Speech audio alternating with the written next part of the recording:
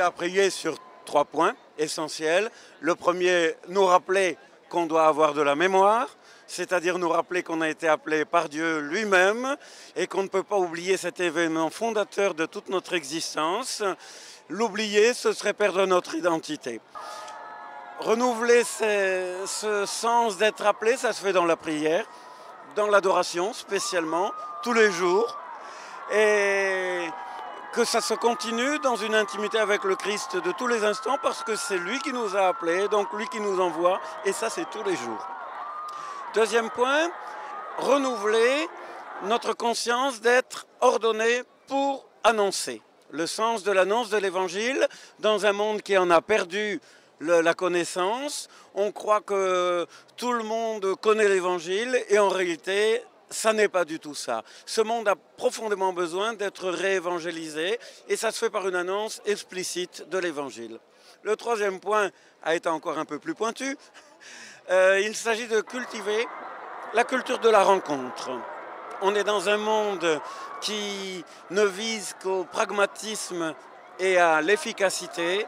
Et nous, porteurs de l'Évangile, envoyés par Jésus, nous avons d'autres références. Il faut que nous allions à contre-courant et il faut que nous promovions en réalité cette culture de la rencontre, de la solidarité.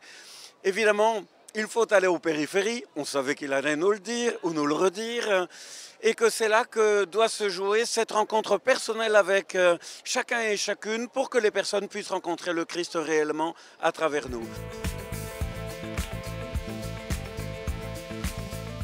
On a eu ici, il y a 40 ans, euh, on a eu 20 ans, 25 ans de dictature militaire qui nous a coupés du reste du monde.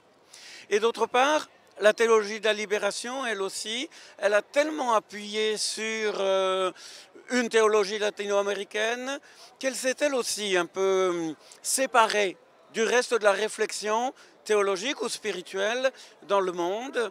Et pour cela, la jeunesse brésilienne, il y a encore quelques années, n'avait pas un lien très fort avec le siège de Rome. Et si il se confirme ce qui me paraît se confirmer sérieusement, que l'Église latino-américaine, dans les prochaines décades, doit devenir la locomotive de l'Église catholique.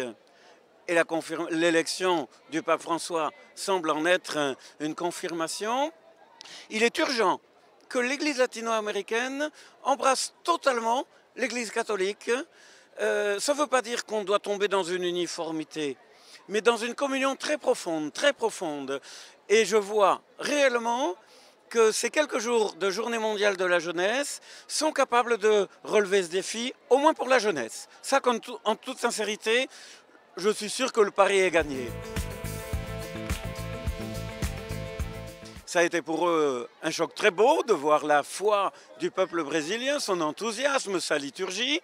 Ça, c'est un premier éclairage que j'ai sur la jeunesse française et qui me réjouit profondément. Le deuxième éclairage, je vais être bien sincère, c'est celui des six derniers mois.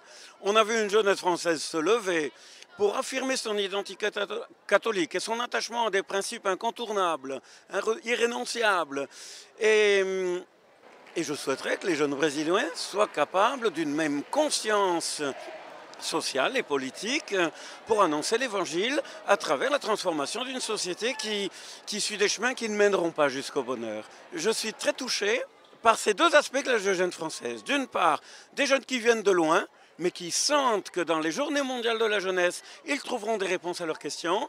Et d'autre part, une jeunesse très ferme, très belle, très digne, capable d'action sans violence euh, et sans, euh, sans amertume, mais d'annoncer clairement, en veillant, comme des sentinelles, en sachant qu'un jour l'aurore se reviendra et que, le peuple entendra et pourra vivre de nouveau l'Évangile.